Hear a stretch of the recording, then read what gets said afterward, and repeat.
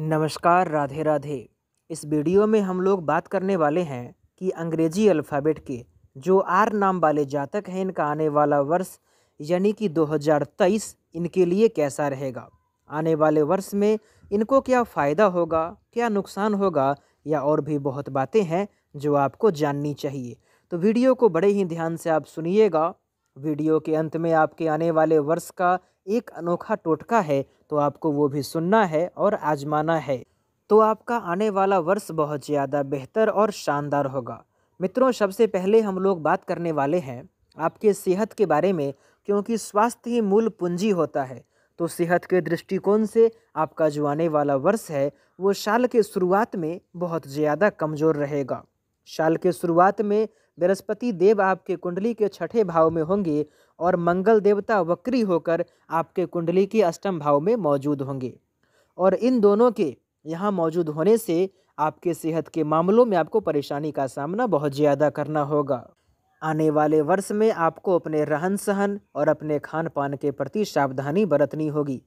क्योंकि हो सकता है तो आने वाले वर्ष में अगर अपने स्वास्थ्य के प्रति आप लापरवाही करते हैं तो कोई बड़ी बीमारी आपको परेशान कर देगा, जो कि आपके आने वाले वक्त के लिए ज़्यादा आवश्यक नहीं होगा। शाल का मध्य भी जो है, वो आपके सेहत के दृष्टिकोण से ज़्यादा बेहतर नहीं रहेगा, यानी कि मई, जून और जुलाई, ये तीन महीना भी आपके सेहत के दृष्टिकोण से ज़्यादा बेहतर नहीं रहेगा। अगस्त के महीने के बाद धीरे धीरे आपका स्वास्थ्य बेहतर होना शुरू हो जाएगा, और इस महीने के बाद आपके स्वास्थ्य के मामलों में कोई बड़ी परेशानी आपको नहीं होगी।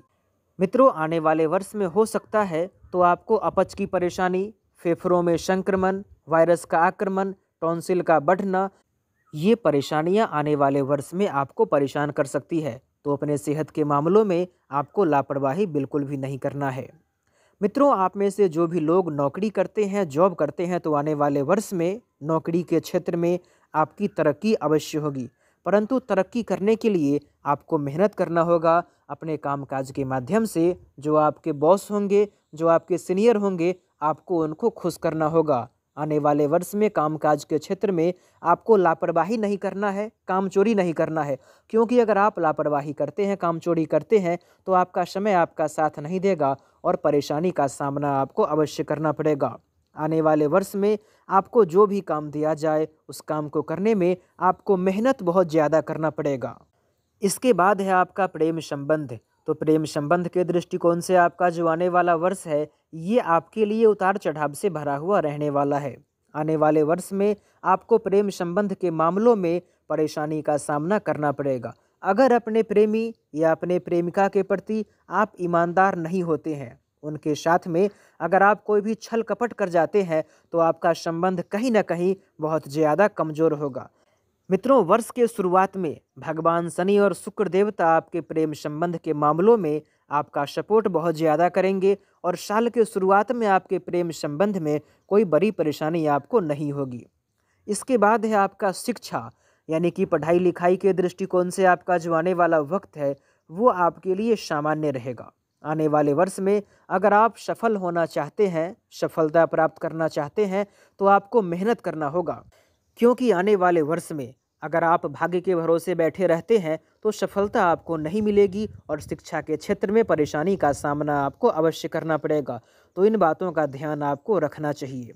तो यही था आपके आने वाले वर्ष का राशिफल। और अब जानते हैं कि आने वाले वर्ष में आपको उपाय क्या करना होगा। तो उपाय बहुत ज़्यादा आसान है। आपको शुक्रवार के दिन माता लक्ष्मी की पूजा करनी है और अपने पूजा पाठ से आपको माता लक्ष्मी को खुश कर देना है। अगर आप ऐसा करते हैं तो आने वाले वर्ष में आपकी तरक्की बहुत ज़्यादा होगी और परेशानी बिल्कुल भी नहीं होगी। मित्रों, अगर आपके मन में कोई सवाल हो, कोई प्रश्न हो तो कमेंट बॉक्स में कमेंट कीजिएगा, आपकी सहायता अवश्य की जाएगी। वैसे मुझे उम्मीद है सारी बातें क्लियर हो चुकी होगी और अब तक आपने वीडियो को लाइक भी कर दिया होगा। साथ में एस्ट्रो फॉर यू को आपने सब्सक्राइब कर दिया होगा और वीडियो के नीचे में जय माता लक्ष्मी आप कमेंट कर दें। तो हमारी आपकी मुलाकात फिर एक नए वीडियो में होगी। तब तक के लिए आप सभी का बहुत बहुत धन्यवाद। जय हिंद, जय बिहार, जय मिथिला।